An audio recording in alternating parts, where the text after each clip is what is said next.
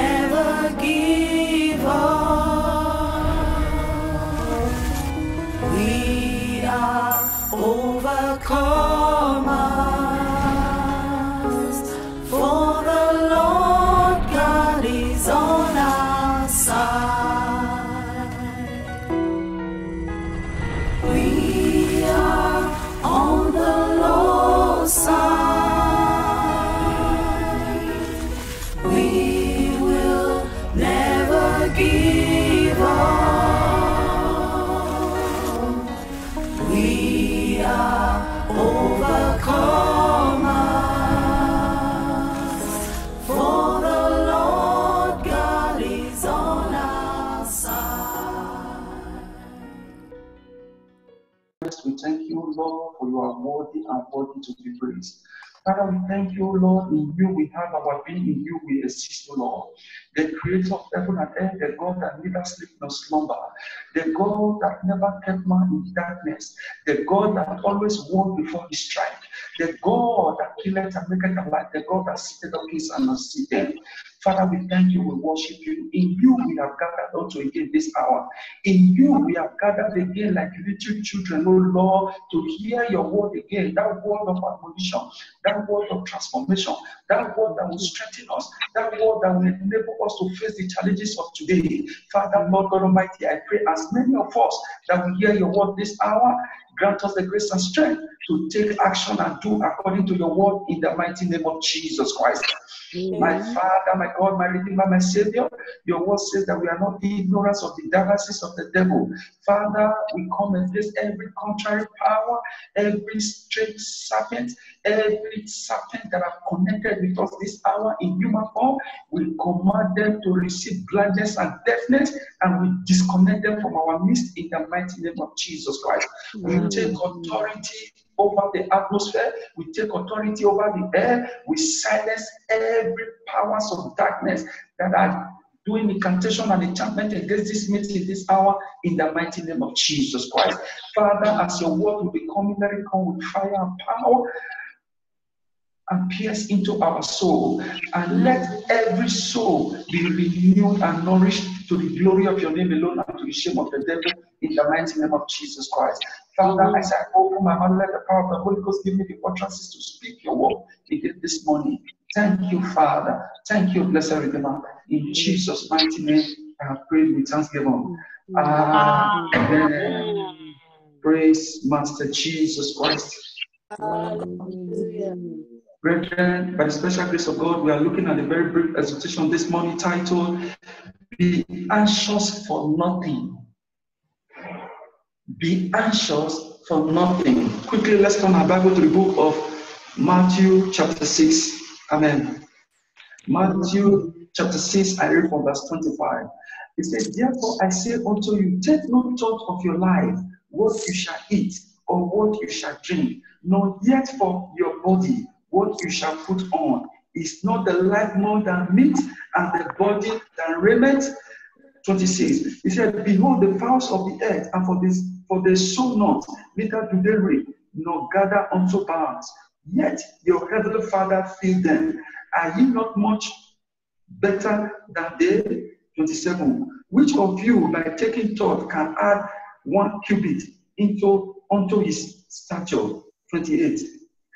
And they take, and why take ye thought for raiment? Consider the lilies of the field, how they grow. They toil not, neither do they spine. 29. And yet I say unto you that even Solomon in all his glory was not arrayed like one of these. 30. Therefore, if God so clothed the grass of the field, which which today is and tomorrow is cast into the oven, shall he not much more clothe you, O ye of little faith? Praise Master Jesus Christ. Hallelujah. Brethren, If you take a look at the world today, you will see how the world has been engulfed with anxiety, anxiousness, materialistic, uh, uh, the materialistic attitude of humanity has, has taken over the entire world. Who have one car want to have two cars. Who married one wife wants to marry another wife who had a house before want to build more. There is competition of wealth here and there. This ought not to be so. That is not how God created it. That is why the Lord is telling you and I, as a believer, that we should be anxious for nothing. We should worry ourselves for nothing. When you are born again, you don't walk like a carnal man.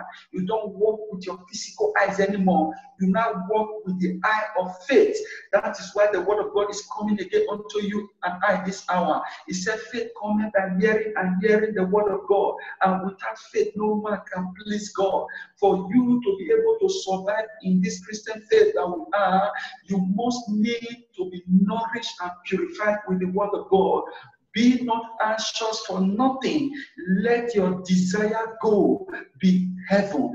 Let your desire go be closer to God. How will you be closer to God? By studying the Word of God and following the Word of God. You will have a peaceful life here on earth, and you will also have a peaceful life in eternity to come. Brethren, why was the Lord telling us this? Thing is for us not to be choked by the cares and the materialistic things of life, so, so that we will not allow the, the, the most uh, uh, important things that, that is needed for us to seek after to be shifted aside, but rather to seek, seek the kingdom of God in holiness, in righteousness, and every other thing that you need, He will provide them. My beloved brethren, one thing we all need to know, even before you gather this morning to voice that words out of your mouth, that God, God knows your thought. He knows your needs. He knows what you are going through. Before you put down your need down, He knows what you are about to say. But there are spiritual requirements for all this to be fulfilled. What are those spiritual requirements? Absolute, complete obedience. That is why the Lord is admonishing you and I this hour that we should not run like the Gentiles, like the unbelievers, like those people who do not know God. We are walking by the eye of faith. Take a look at the entire life today. The reason why there is corruption everywhere, the reason why there is unrighteousness everywhere is because human are never satisfied. According to the economic law, it says human want are insatiable. If you have been eating rice today, you want to eat beans. If you have been eating beans, you want to eat other varieties of food. But the Lord is telling you and I that you should not be anxious for these things. People have taken wrong decisions today because of they were anxious of life. They do not follow the word of God. They are into wrong marriage today. They have given birth to the wrong children. They have they have they have done things wrongly because they are anxious. Some say, I'm getting old. I am scared of my age. What did you bring into this life? Your life, your life is not measured according to the abundance of the things that you have acquired there. What matters is your relationship with God. What matters is how you are heavily focused, is how you are walking out your salvation with fear and trembling. Praise Master Jesus Christ. Amen. What does it take to be anxious? To be anxious means to be nervous, to be worried. What does what does it take to be anxious? To be full of anxiety, disquiet, dis, disquietude, to be greatly concerned or solicitous, especially respecting something something future or unknown. We all are worrying. What shall become of my life tomorrow? What shall become of the life of my children tomorrow? Some people they worry and worry and worry. They cannot even pray anymore. You worry about life partner. The Lord has given you a life partner. You worry, will I be able to conceive? You have conceived now. You worry, will I be able to deliver safely? You have delivered safely. Right now, you worry, the child is growing up. This child will not. This I pray this child will not die in the infancy, in this stage of infancy. The child has grown up now. The, this child has started going to school. You worry as the child is going to school. You are praying, hey, do not let anything happen to this child. This will amount to hypertension. This will amount to heart failure. All you just need to do is to commit your ways into the hands of God. Commit your family into the hands of God and leave it unto God. Praise Master Jesus Christ. Hallelujah. If, if Job were having the kind of attitude that we are having now, Job would have fought prey to the devil. Praise Master Jesus Christ. What does it mean to be to, to, to be anxious? That unpleasant state of mental uneasiness. You worry to have a house. You worry to have a car. You are going to take loan now. You are worrying how to pay this loan. You are going through financial difficulties.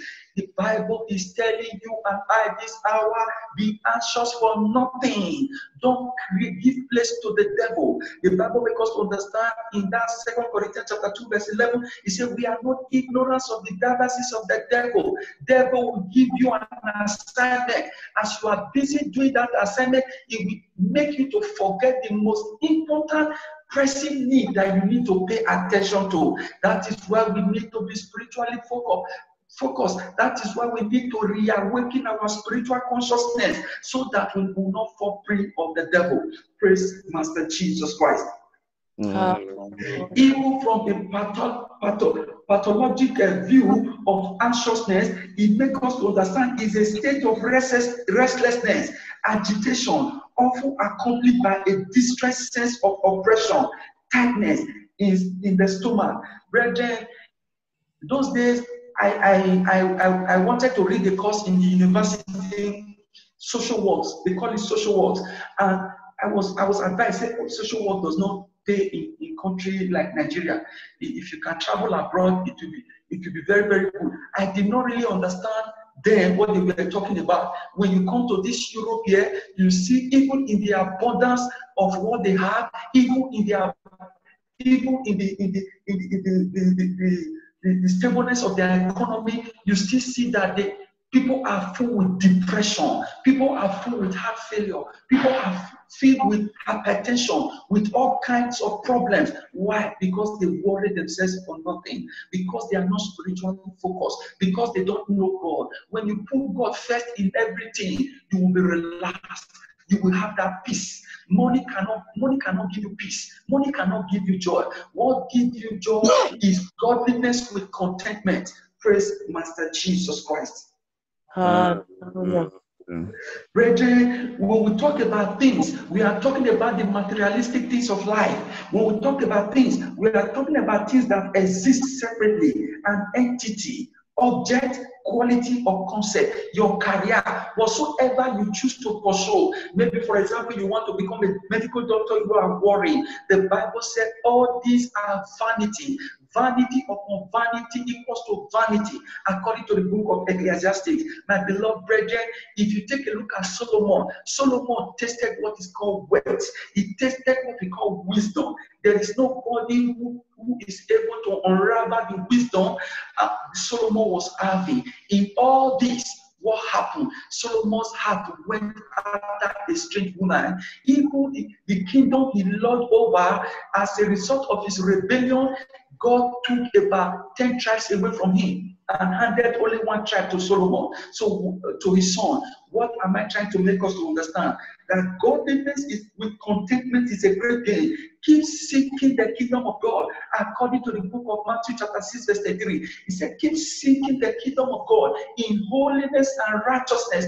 That should be our our priority. That should be our aim so that we will not fall prey of the devil. Remember, he said, We are not ignorant of the devices of the devil. What makes us not to be ignorant of the devices of the devil? Because the Bible has educated you and I. The Bible has acquitted you and I with knowledge. That is why the Bible makes us understand. Says, Study to show themselves approved unto God. For a workman needed not to be ashamed, but rightly dividing the word of truth. Praise Master Jesus Christ. Ah. When we talk about things, we are talking about an individual object or distinct entity. When we talk about this, we are talking about whatever can be owned. When we talk about this, we are talking about faction. We are talking about the latest part of faction. When we talk about this, we are talking about clothes. We are talking about possession. We are talking about equipment. When we talk about things, we are talking about a problem. We are talking about dilemmas. We are talking about complicating factors. When we talk about things, we are talking about tangible substance that goes into the makeup of physical object. When we talk about things, we are talking about abstract. We are talking about substance of character.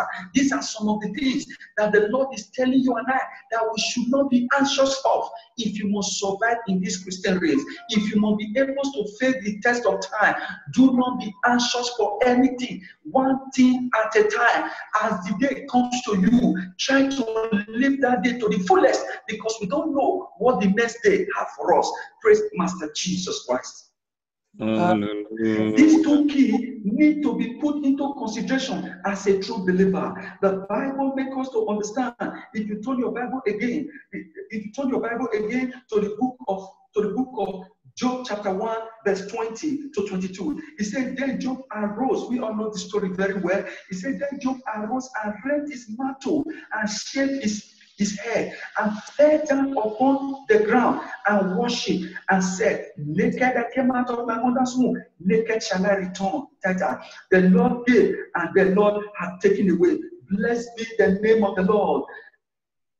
22. In all this, Job sinned not, nor charged God foolishly. Many of God ask, ask God some foolish question. God, why? God, why this? God, why that? Why am I still why am I still barren? Why do, do I not have a life partner now? Why why eh, is it I don't have a child? We have asked so many questions. God, why? The Bible is telling you and I this hour be anxious for nothing. We brought nothing into this world. Certainly, we are taking nothing out of this world. That is where humanity is so foolish. That is where Satan has captured the source of humanity. If you study the Bible very well, according to the book of Matthew chapter 4, when you take it, when you when you take it from verse 4 down, you will see the encounter of Jesus Christ with the devil. Before you see what he told Jesus Christ, he said, if you will bow down and worship me, I will give you the entire world. I will give you, can't you see the beauty of this world? Jesus Christ makes it Eh, eh, eh, make Satan to understand that these are not the most pressing need. This is not what I want. This is not my vision of earth. I did not come to this earth to seek materialistic things of life. I did not come to this earth to acquire the, the, the, the wealth of life, but I have come to save souls. I have come to, to redeem souls. I have come to lead people to the light. That is why the Bible makes us understand in the book of John chapter 8, verse 12. He said, And he said unto them, I am the light. He that followeth me shall not walk in darkness. You said you are born again, but you are your mentality, your state of reasoning is not different from the people of the world. What now makes you a child of God? I pray as many of us that will hear this word this hour, we will reawaken our spiritual consciousness and and have a rethink on the way we handle issues and react to issues in the mighty name of Jesus Christ. Amen. So, brethren, what is the Lord telling you and I? The Bible makes us to understand in the book of Luke, chapter 12, verse 15. He said, And he said unto them, Take heed, take heed, take heed, and beware of covetousness, for a man's life consists not in the abundance of the things which he possessed. Your life that you are living now does not consist of the abundance of the things that you possess. What what what matters a lot is your quality relationship with God, is how you are spiritually focused concerning the the, the, the, the, coming of the Lord. That is what matters to us. I have seen people dying, leaving chains of cars. I have seen people dying, leaving estate, leaving all and all. No one was buried with him or her. That is to tell you the vanities of life. But we humanity, we forget so easily. In Jeremiah chapter 45, verse 5, it says, Seek thou great things for thyself, seek them not Jeremiah 45, verse 5. Seekest thou great things for thyself? Seek them not. The greater thing that you need to seek is to keep seeking the kingdom of God and keep walking out your salvation with fear and trembling. That is the greater thing that you need to seek. That is why the Bible makes us understand in the book of Mark, chapter 8, verse 30 36. It says, For what shall it profit a man to gain the whole world and lose his soul? And lose his soul. Your soul is more precious than God. That soul, you need to guide it jealously. You need to feed your soul. You need to nourish your soul. You need to reawaken your, your the spiritual consciousness of your soul. Speak to your soul so that you will not be lured into destruction, into doom. Praise Master Jesus Christ. Hallelujah. Brethren, anxiousness and anxiety lead to covetousness. It makes you to begin to, to, to defy the word of God and begin to create a niche for yourself, a, to create an atmosphere for you to, to embezzle, to lie, to, to, to become covetous. This ought not to be so. We need to be really, really be careful so that we will not fall into the hands of the devil. The Bible says, What shall a man give in exchange of his soul? Your soul is more precious. The soul, all you need to do is to keep praying for that your child. Don't worry over them. The Lord that gave them to you will take care of them. Are you not a believer? Are you not a child of God? Don't allow Satan to give you an assignment. Don't allow Satan to engage you with that precious time that you have been using to glorify God, that you have been using to seek praises unto God. All you just need to do is for you to be obedient to the word of God, and the glory and the pillar of cloud of God will envelop you and entire household. Praise Master Jesus Christ. Hallelujah. Brethren, the Bible makes us to understand. If you turn your Bible again to, to, to the book of Luke chapter 8, verse 14, Luke chapter 8, verse 14, he said, That which fell, Amen. Amen. Amen. Luke chapter 8, verse 14. Yeah. He said, That which fell among thorns are they which, when they have heard, they go forth and are choked with the cares and riches and pleasures of this life and bring no, no fruit to, to perfection. What is the Bible making you and I to understand? Many of us have heard the word of God. If we take a look at this ministry today and take a look at the number of people that have come and gone, I don't think Zoom would, would, would, contain us anymore. We would have been looking for another platform. A set of new people are coming every day and the old ones are leaving. This ought not to be so. Why? Because the Bible makes us understand in that Luke chapter 8, verse 14. It says, Which fell among thorns are they which they have heard, they go forth and are choked with the cares, riches, and pleasures of this life, and bring no fruit to perfection. Did you want to bring fruit to perfection? Do not worry yourself with the cares of this world. One thing at a time. Handle issues the way they, they come. Be contented with each day. Live today as if tomorrow will never come. I'm not trying to tell you that it's, wrong for you to be rich. I'm not trying to tell you you have to be poor. No, get me, be in the spirit with me. What I'm trying to make you to understand whatsoever that will make you to to, to be in that state of uneasiness that will not make you to be so obsessed, that will not make you to, to, to think all through the night.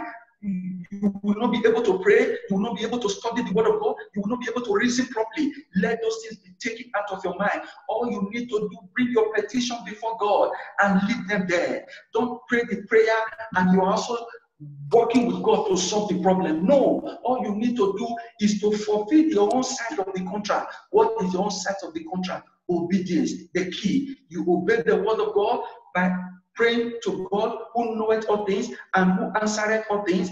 Then God will bring that thing into, into reality and do it for you.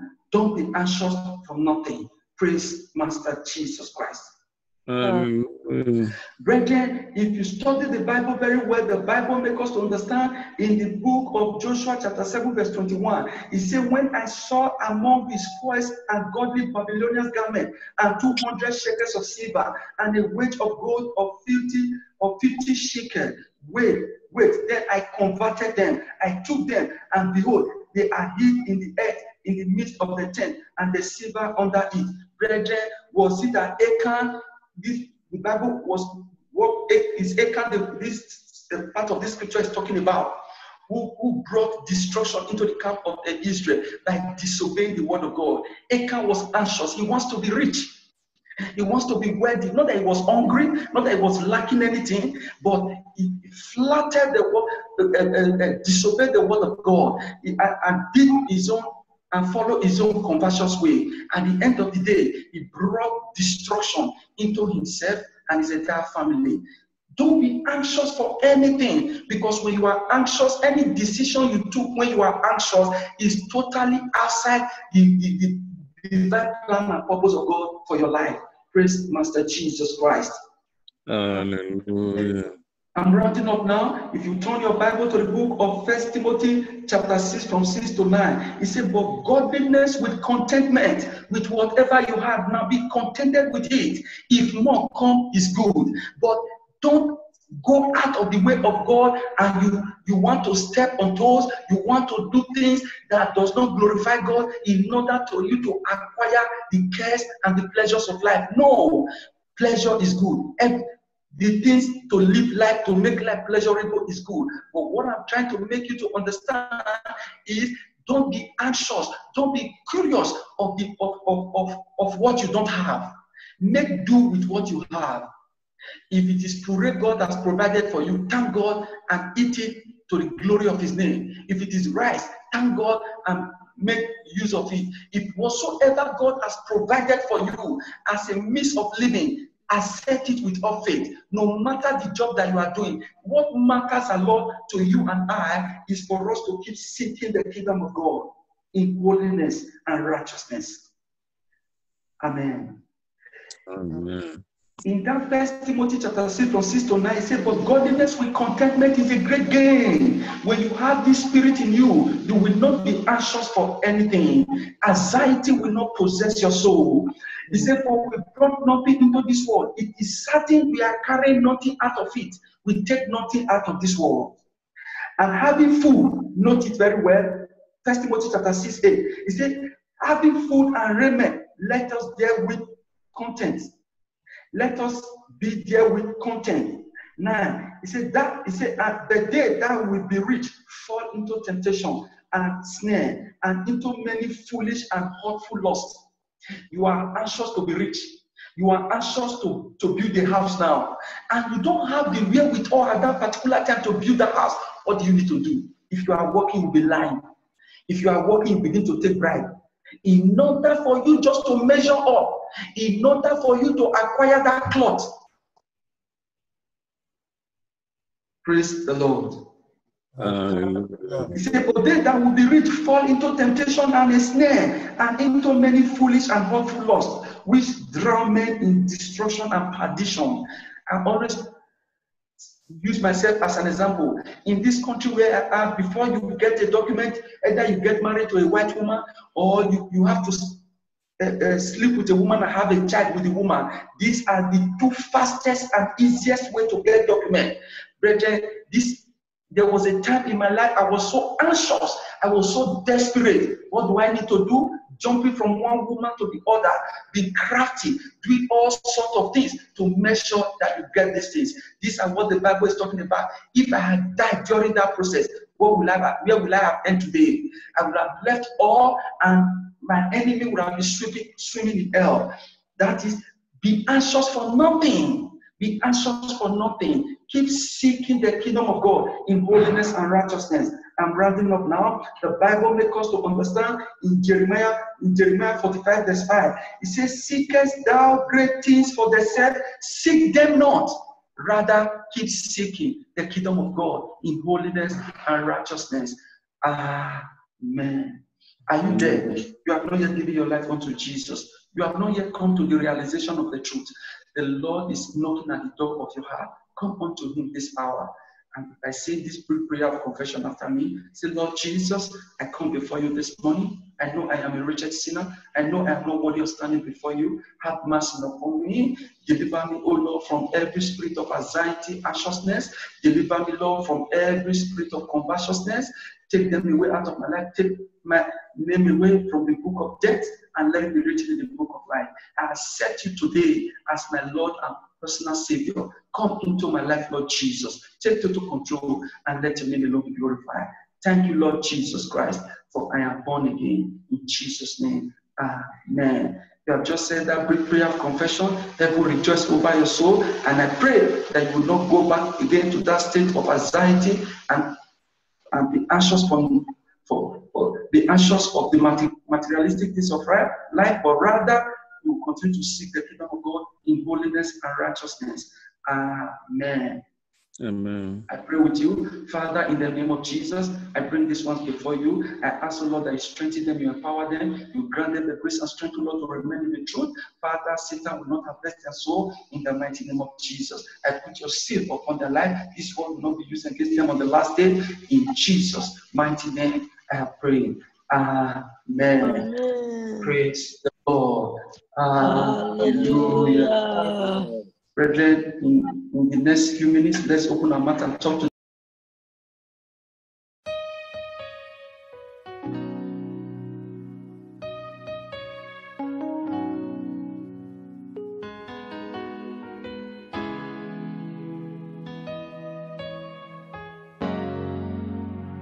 Bishop of soul, shepherd of our soul.